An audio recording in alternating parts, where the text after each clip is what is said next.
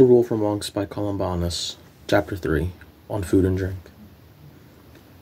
The monk's food and drink should be poor and taken in the evening in order to avoid satiety and inebriation, so that they sustain life without harm in it.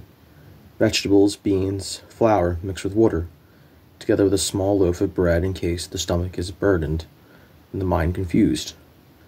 For those who desire eternal rewards, should take account only of serviceability and use.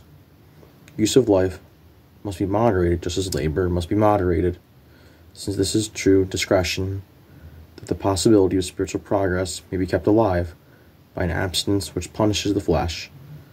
For if abstinence goes too far, then it will be a vice and not a virtue.